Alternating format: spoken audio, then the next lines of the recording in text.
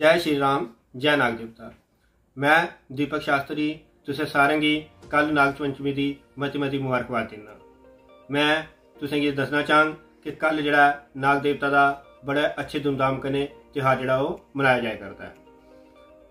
ਮੈਂ ਤੁਸੀਂ ਇਹ ਗਲਾਣਾ ਚਾਹਾਂ ਕਿ ਕੱਲ ਦੇ ਦਿਨ ਅਸ ਨਾਗ ਦੇਵਤਾ ਦੇ ਨਾਂ ਦਾ ਵਰਤ ਵੀ ਰੱਖੀ ਸਕਦੇ ਭਾਵ ਇਹ ਹੈ ਕਿ ਕਈ ਵਾਰੀ ਕੀ ਹੁੰਦਾ ਕਿ ਸਾਡੇ ਸੁਪਨੇ ਜਿਹੜੇ ਉਹ ਨਾਗ ਦੇਵਤੇ ਆਉਂਦੇ ਨੇ।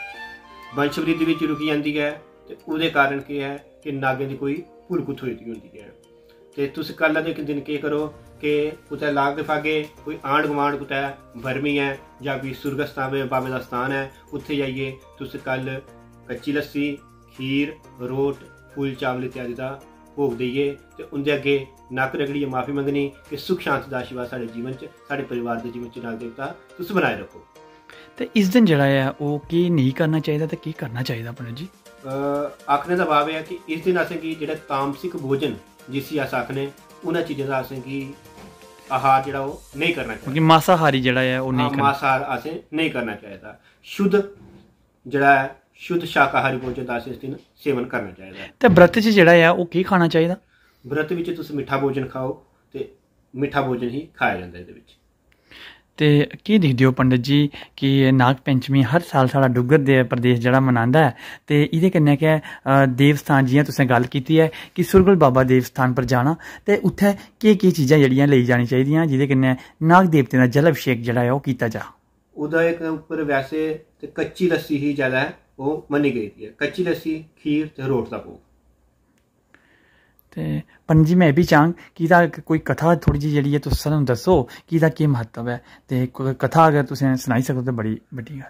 ਦੇਖੋ ਕਿ ਨਾਗ ਦੇਵਤਿਆਂ ਦੀ ਕਥਾ ਤੇ ਨਹੀਂ ਰਿਸ਼ੀ ਪੰਚਮੀ ਵੀ ਅਸੀਂ ਨੇ ਕੀ ਗਲਾਈ ਜਾਂਦੇ ਜੀ। ਤੇ ਰਿਸ਼ੀ ਪੰਚਮੀ ਦੇ ਉੱਪਰ ਇੱਕ ਵਿਸ਼ੇਸ਼ ਇੱਕ ਕਥਾ ਜਿਹੜੀ ਹੈ ਭਵਿष्य ਪੁਰਾਣ ਦੇ ਅਨੁਸਾਰ ਆਖਿਆ ਜਾਂਦਾ ਹੈ ਕਿ ਉਸ ਦੇ ਵਿੱਚ ਕਿਹਾ ਕਿ ਵਿਦਰਭ ਦੇ ਵਿੱਚ ਇੱਕ ਬ੍ਰਾਹਮਣ ਆਪਣੀ ਪਤਨੀ ਤੇ ਆਪਣੀ ਇੱਕ ਪੁੱਤਰੀ ਇੱਕ ਪੁੱਤਰ ਕਨੇ ਉੱਥੇ ਰੋਂਦਾ ਹੈ। ਤੇ ਆਖਿਰ ਕਿ ਜਿਸ ਟਾਈਮ ਉਸ ਦੀ ਪੁੱਤਰੀ ਜਿਹੜੀ ਹੈ, ਉਹ ਬਿਆਨੇ ਜੋਗੜੀ ਹੋਈ ਤੇ ਉਸ ਦਾ ਉਹਨਾਂ ਵਿਵਾਹ ਕਰ ਦਿੱਤਾ। ਤੇ ਵਿਵਾਹ ਦੇ ਕੁਝ ਸਮੇਂ ਦੇ ਪਛਾਤ ਦਾ ਉਹਦੀ ਜਿਹੜੀ ਸੁਪੁੱਤਰੀ ਹੈ, ਉਹ ਪੁੱਤਰੀ ਜਿਹੜੀ ਆ, ਉਹ ਵਿਧਵਾ ਹੋਈ ਗਈ। ਤੇ ਫਿਰ ਆ ਦਿਨ ਕੇ ਆਪਣੇ ਮਾਇਕੇ ਆਈ ਉਹ ਰੋਣ ਲੱਗੀ ਤੇ ਮਾਇਕੇ ਰੋਂਦੇ ਰੋਂਦੇ ਇੱਕ ਰਾਤੀ ਕੀ ਹੋਇਆ ਕਿ ਉਸ ਪੁੱਤਰੀ ਜਿਹੜੀ ਉਹ ਸੁੱਤੀ ਦੀ ਸੀ ਤੇ ਉਹਦੀ ਮਾਂ ਜਿਹੜੀ ਆ, ਉੱਥੇ ਦਿਖਦੀ ਹੈ ਕਿ ਮੇਰੀ ਪੁੱਤਰੀ ਦੇ ਸਰੀਰ ਦੇ ਉੱਪਰ ਨਿੱਕੇ ਨਿੱਕੇ ਕੀੜੇ ਰਿੰਗਾ ਦੇ ਨੇ।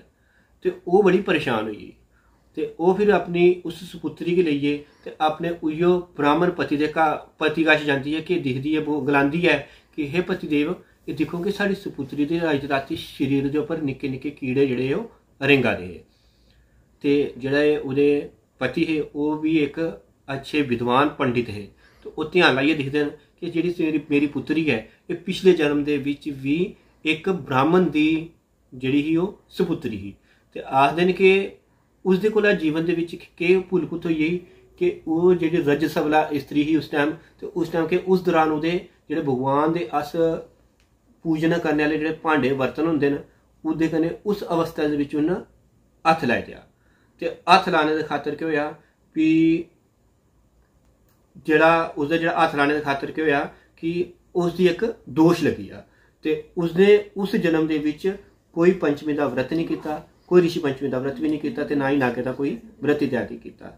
ਤੇ ਉਸ ਦੇ ਬਾਅਦ ਕੀ ਹੋਇਆ ਵੀ ਇਸ ਜਨਮ ਦੇ ਵਿੱਚ ਉਹਦੀ, ਉਸ ਜਨਮ ਦਾ ਭੋਗ ਜਿਹੜਾ ਉਹ ਭੋਗਣਾ ਪਿਆ।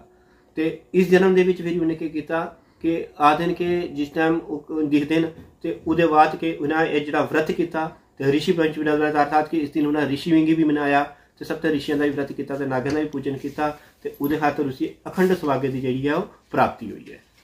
ਤੇ ਕੀ ਕੱਲ ਕੋਈ ਮੋਖ ਵਾਲਾ ਵੀ ਹੈ? ਬਿਲਕੁਲ ਕੱਲ ਮੋਖ ਵੀ ਕਰਾ ਦੇਣ, ਵਰਤ ਰੱਖੀ ਉਹਦਾ ਉਦਿਆਪਨ ਵੀ ਕਰਨਾ, ਤੇ ਸ਼ਾਮੀ ਟਾਈਮ ਜਿਹਦਾ ਜਿਹੜਾ ਮਿੱਠਾ ਭੋਜਨ ਉਹ ਕੀਤਾ ਜਾ